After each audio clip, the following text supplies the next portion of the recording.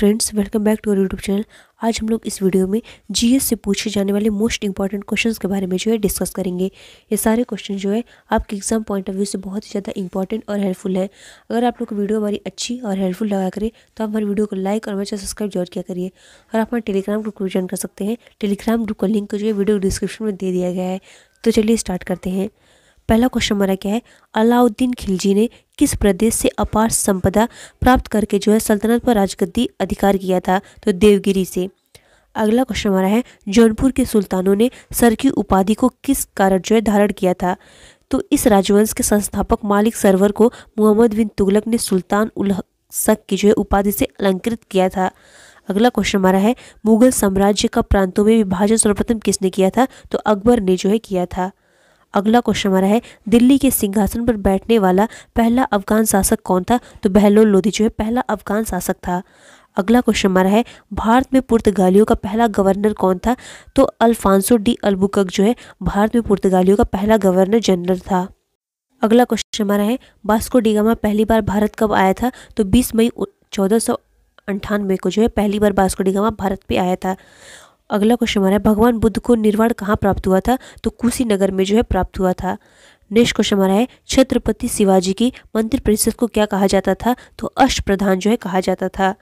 अगला क्वेश्चन हमारा है अथर वेद का ब्राह्मण ग्रंथ कौन सा है? तो गोपत ब्राह्मण जो है, इसका वेद ग्रंथ है। अगला क्वेश्चन हमारा है, बाबा फरीद कौन थे? तो ये प्रसिद्ध सूफी संत थे। नेक्स्ट हमारा है, किस मुगल साम्राज्य को राष्ट्रीय सम्राट कहा जाता है तो अकबर को जो है राष्ट्रीय सम्राट कहा जाता है।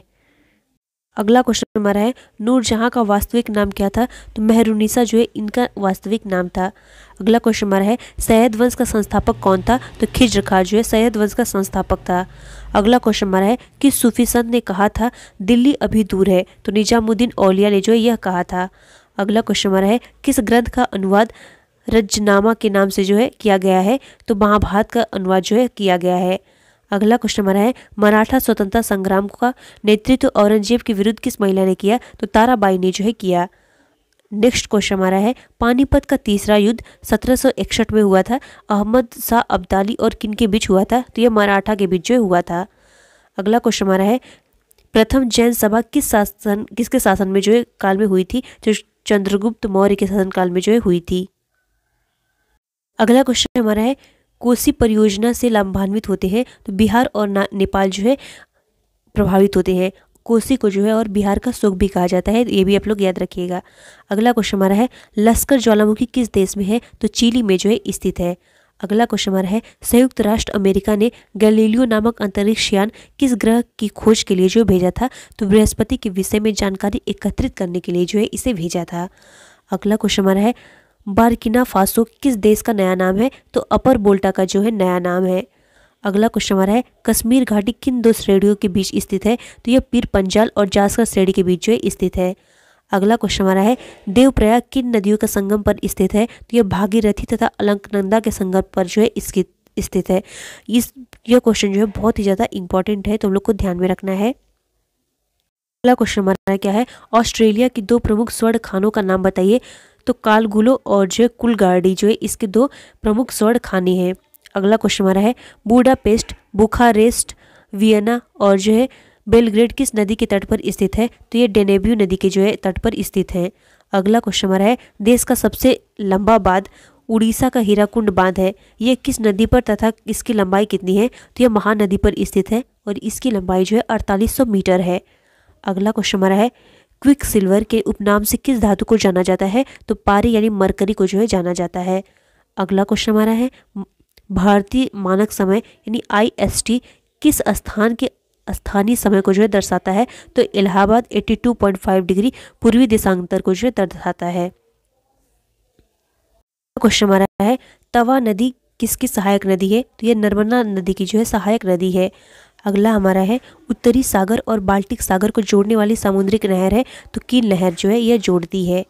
अगला क्वेश्चन हमारा है, बेरूत किस देश की राजधानी है? तो लेबनान की राजधानी क्या है? बेरूत है, और लेबनान जो है, एशिया में स्थित है ये भी हम लोग को ध्यान में रखना है। अगला क्वेश्चन हमारा है, क्या है? पायरोक्लास्टिक्स क्या होते हैं? तो ये ज्वालामुखी से निकली हुई चट्टानों को हम लोग पायरोक्लास्टिक्स कहते हैं। अगला क्वेश्चन हमारा है, अफ्रीका में असवान बाँध किस नदी पर है? तो यह नील नदी पर जो है, स्थित है। अगला प्रश्न हमारा है, किस क्षेत्र को एशिया का निष्प्राण क्षेत्र कहा जाता है? तो पामिट क्षेत्र को जो है, एशिया का निष्प्राण and dead heart of area जो है कहा जाता है। अगला क्वेश्चन हमारा है, राजस्थान की इंदिरा गांधी नहर किस नदी से निकल, निकाली गई है? तो ये सतजल और जो है, सतलज और जो है, व्यास नदी से निकाली गई है। अगला क्वेश्चन हमारा है, टोडा जनजाति कहाँ पाई जाती है? तो ये नीलगिरी पहाड़ियों में जो है पाई जाती है। क्वेश्चन हमारा है, पानी में हवा का बुलबुला किस प्रकार के लेंस की भांति कार्य करता है? तो यह अवतल लेंस की तरह जो है कार्य करता है। अगला क्वेश्चन हमारा है, इलेक्ट्रॉन बोल्ट किस भौतिक राशि का मात्रक है? तो यह विद्युत ऊर्जा का जो है मात्रक है। अगला क्वेश्चन हमारा है, साबुन के बुलबुले में प्रकाश की घटना का कारण रंग दिखाई देते हैं तो वे व्यतिकरण के कारण जो है दिखाई देते हैं। अगला क्वेश्चन हमारा है, गतिमान आवेश उत्पन्न करता है तो चुंबकीय क्षेत्र तथा विद्युत क्षेत्र दोनों जो है उत्पन्न करता है। अगला क्वेश्चन हमारा है डायनामाइट का आविष्कार किसने किया था? तो अल्फ्रेड नोवेल ने जो है, इसका आविष्कार किया था। अगला क्वेश्चन हमारा क्या कह रहा है, किसी तारे का रंग किसका जो है, परिचायक होता है? तो तारे के ताप का जो है, परिचायक होता है। अगला क्वेश्चन हमारा है, भारी जल हैवी वाटर होता है तो ड्यूटेरियम ऑक्साइड को जो हम लोग भारी वाटर डी टू को जो हम लोग भारी वाटर कहते हैं। अगला क्वेश्चन हमारा है, अर्जेंटाइन किस धातु का जो है अयस्क है? तो यह चांदी का जो है अयस्क है। अगला क्वेश्चन हमारा है, दूध का पीएच मान होता है तो 6.6 जो है दूध का पीएच मान होता है। अगला क्वेश्चन हमारा है, मनुष्य के शरीर में पित्त कहाँ बनता है तथा कहाँ इकट्ठा होता है? तो पित्त जो है आकृति में बनता है तथा गल ब्लैडर में जो है एकत्रित होता है। अगला क्वेश्चन हमारा है, मानव शरीर की सबसे छोटी मांसपेशी का नाम क्या है? इस तो यह इसका नाम जो है स्टेपीडियस जो है इसका नाम है।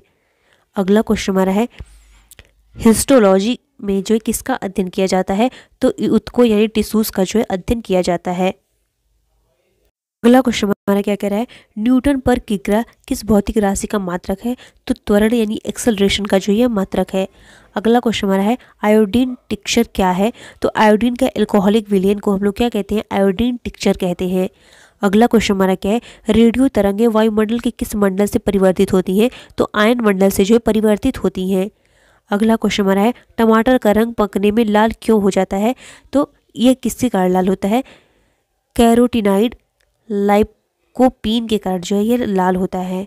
अगला क्वेश्चन हमारा है, पारिस्थितिकी संबंधित है तो जीव व पर्यावरण के साथ संबंधों से जो है संबंधित है। अगला क्वेश्चन हमारा है, भारत में अंतरिक्ष आयोग की स्थापना कब हुई थी? तो जून उन्नीस सौ बहत्तर में जो है, इसकी स्थापना हुई थी। अगला क्वेश्चन हमारा है, सर्वप्रथम कृत्रिम गर्भाधान भारत में कब प्रारंभ किया गया था? तो सन 1942 में जो है, प्रारंभ किया गया था।